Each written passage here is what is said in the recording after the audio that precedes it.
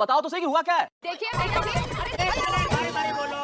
अरे एक एक करके बोलो भाई तो कुछ समझ में आए। बबीता जी सबसे पहले आप बोलिए बोलिए।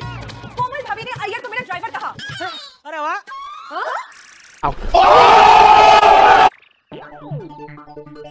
अरे वाह। ये कोई तरीका है? ऐसा क्यों बोला?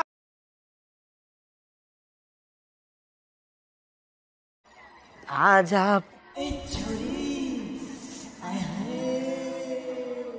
सच बता रहा हूँ एकदम आप आज आइटम लग रहे। जी?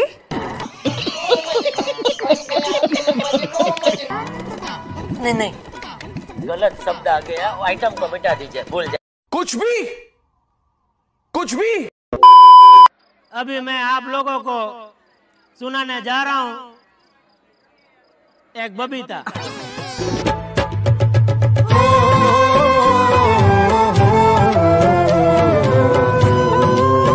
जेठालाल कुछ अपनी चीज़ सुनाना है। इसीलिए।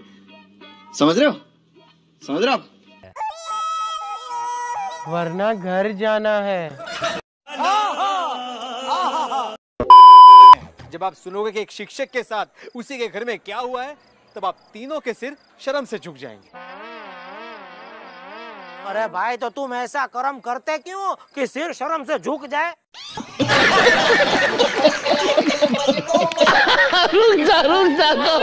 देखा आपने लापरवाही का नतीजा है।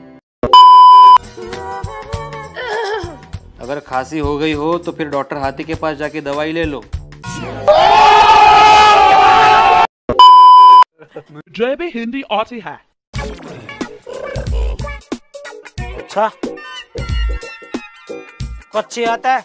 यस कच्ची आता है? कच्ची? यस तो बोलो कड़ा बना तो औलादन बना तो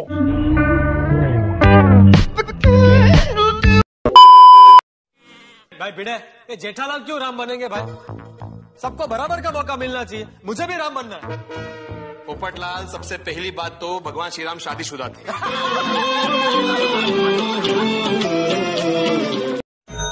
मैं ट्राई करता है।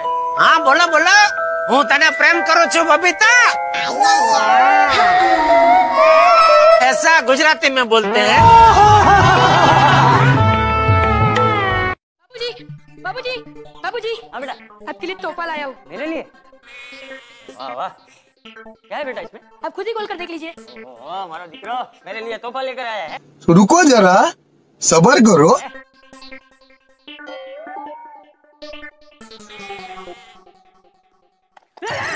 खत्म।